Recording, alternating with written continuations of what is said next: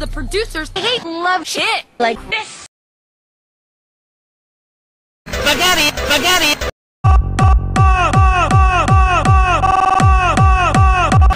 Are you fucking kidding me?